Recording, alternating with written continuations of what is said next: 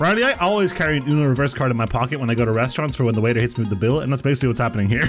Exactly right. Look at this. The actual literal reversal here. No, no, no, no, no. I think you'll find it's my extra All turn, not lowercase, yours. no you. Or no me in this case, I guess. and the opponent is out of here. Awfully nice boards you got there, Miley. Be a shame if something meat hooked it. Yes, I mean, look, from the outset, you're looking at this and being like, okay, opponent's on 19, our hero's playing black, right? Like, obviously, something very cool is going to happen in this clip. Hmm, I wonder which mythic rare in particular is going to come off the top of the library and solve this problem for us, Denis. yeah, but what's the the real killer here, Riley, is the Dreadhound. That's it. I mean, it's the Meathook Massacre, which, you know, obviously is a very nice card to have here. Novice Occult is going to ding him for one on the way out, but the Dreadhound, I mean, you know, Trick starts counting and then realizes, I don't need to count. This, Yeah, we got we got plenty. Yeah, this is a mathematical equation that solves itself here. So activate the Thermo Alchemist, get in there for the last points of damage. Meathook Massacre for four. That's going to clean up the entire board, Denis, leaving just the Dreadhound and all of the juicy, juicy triggers with it. And that's the ball oh game. oh my god. Riley, what's better than Plague Wind?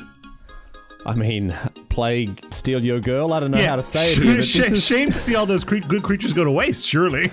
A RAL with a mass manipulation in limited, Denis, is going to absolutely rip apart this board. Mass manipulation for three is going to steal more or less everything. I mean, at this point, it's academic. The opponent's on six, they're going to die, but hey, mm-hmm. they're going to die in style. Yeah, and you, like you mentioned, and this does not look like draft. This looks like a bad brawl deck. I'll be honest, but I don't know. Travis is absolutely taking the opponent to town here. So, take three of your creatures. You get a bit of extra damage because of the, the, the RAL triggers. Then these are coming across. I mean, you're dead six They've ways from enough. Sunday, but what a way to go, Denis.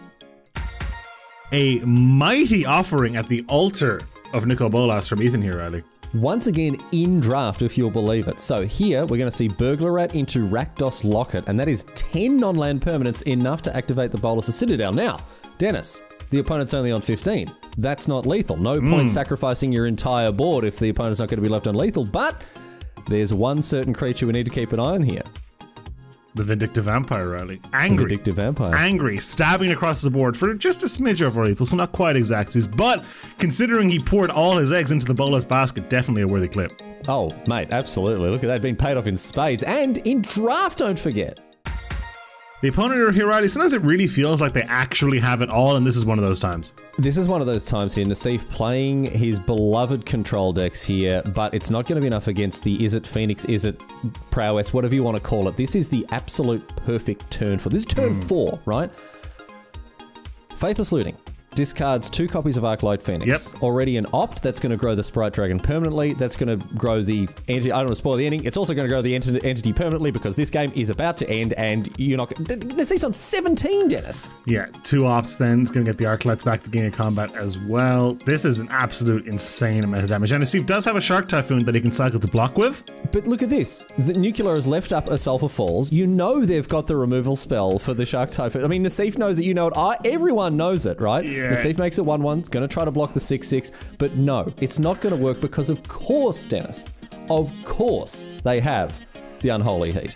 Can you believe it? Thank you for watching, everyone. If you have your own suggestion for MTG Top 5, tweet them using the hashtag MTG Top 5 or post them on the Channel Fireball Discord server in the hashtag MTG Top 5 chat room.